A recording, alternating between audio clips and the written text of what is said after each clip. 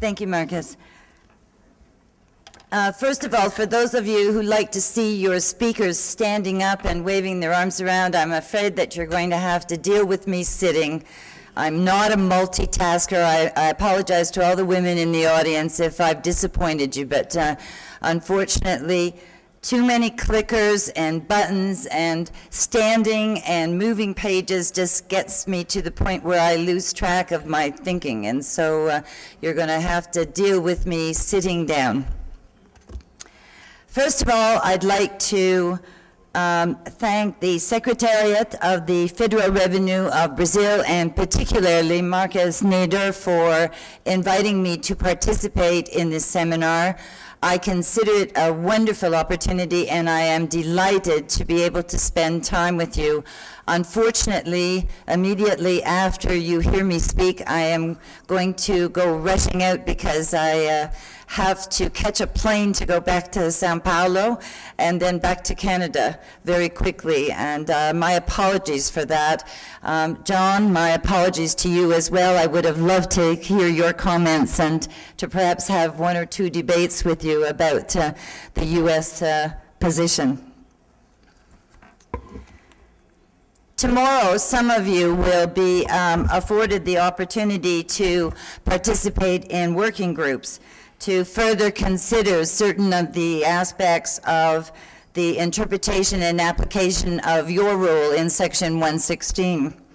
And I hope that you may find some of my insights into our Canadian experience in this area of uh, interest and possibly useful to you in progressing your discussions and arriving at a clear and balanced way forward for Brazil. Marcus is looking behind me to see if I've forgotten to click the clicker, but I haven't actually forgotten to click the clicker.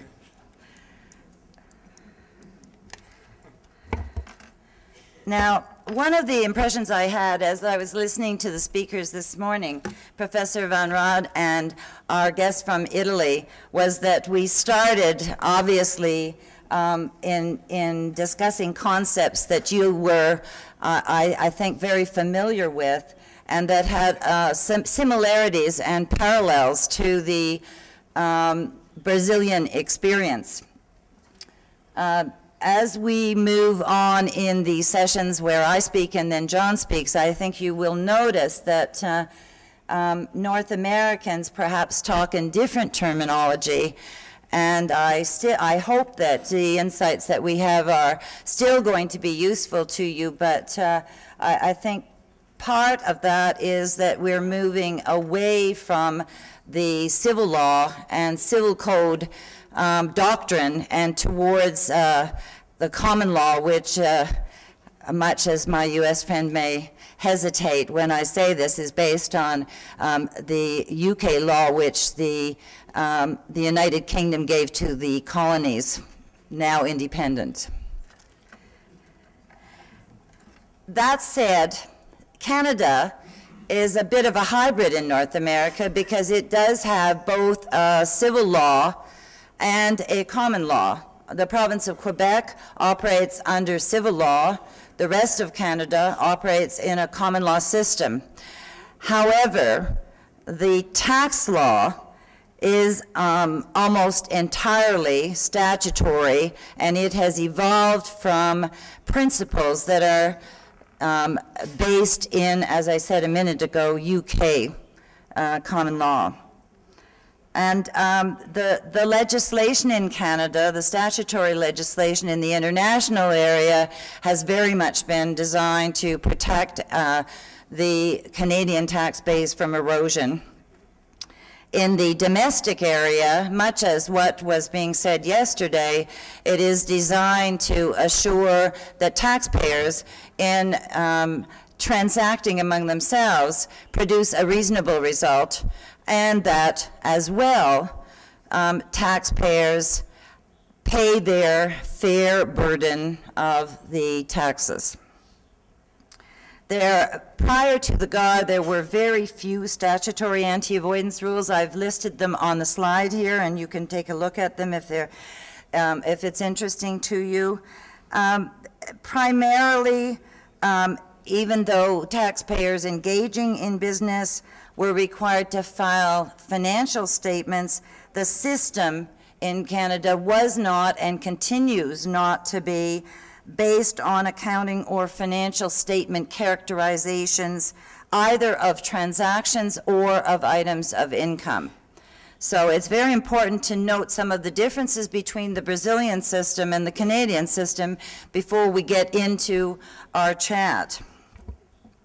Now, Marcus has asked that I spend a, a bit of time on the pre-GAAR judicial anti-avoidance doctrines.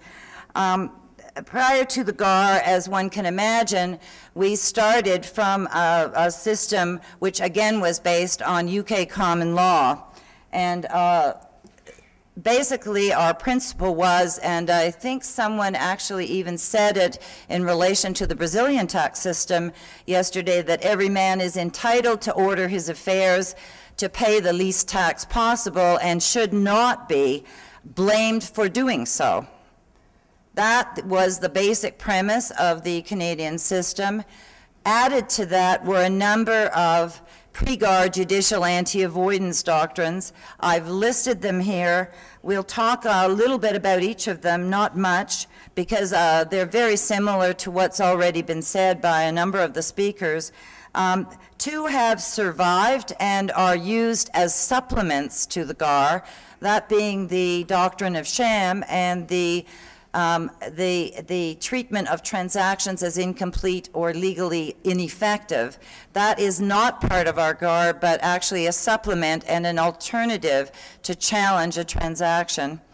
Um, the two of the other ones, the business purpose test and the step transaction doctrine, have actually survived in some form and been integrated into our general anti-avoidance rules. So um, I, I um, we'll go through them very quickly. The, the, the first one being the doctrine of sham. Um, from a UK perspective, you see the first quote up there, and I'm not going to read quotes to you, but uh, um, I did, um, I, I, I think my slides will be available to all of you on request uh, after my session. Um, basically, sham from a UK perspective means acts done, documents executed, which are intended by the parties to give third parties the appearance of creating legal rights that are different from the actual legal rights and obligations the parties intend to create. Well, what does that mean? The simple classical um, example that's always given under UK law is you have Mr. A and Mr. B. Mr. A wishes to sell his property to Mr. B. Um, Mr. B wants to buy the property.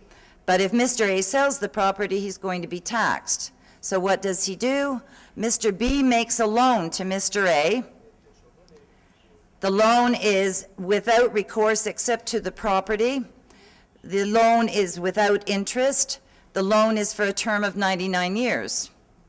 Mr. A then transfers the property to Mr. B as security for that loan. And in the olden days. Um, some, I, somebody was talking this morning about old and old countries. Now, in the olden days, uh, when the tax systems weren't quite so sophisticated, that would allow for an avoidance of tax. And what was happening there? A and B were actually entering into a sale contract, but they were documenting it as if it was a loan transaction. And that is the classic example of a sham. There has to be an element of, of deceit and in the Canadian law, deceit is an absolute necessity. And um, if you look at um, the slides that the Supreme Court of Canada expressly rejected in the Canadian context the integration with the concept of sham of a business purpose test. And the finance uh, department in Canada found that the doctrine of sham was very narrow and very limited in its application and did not use it often only because it was so difficult to prove deceit in a situation where parties had actually contracted and designed their documents to achieve exactly the legal result that they had intended.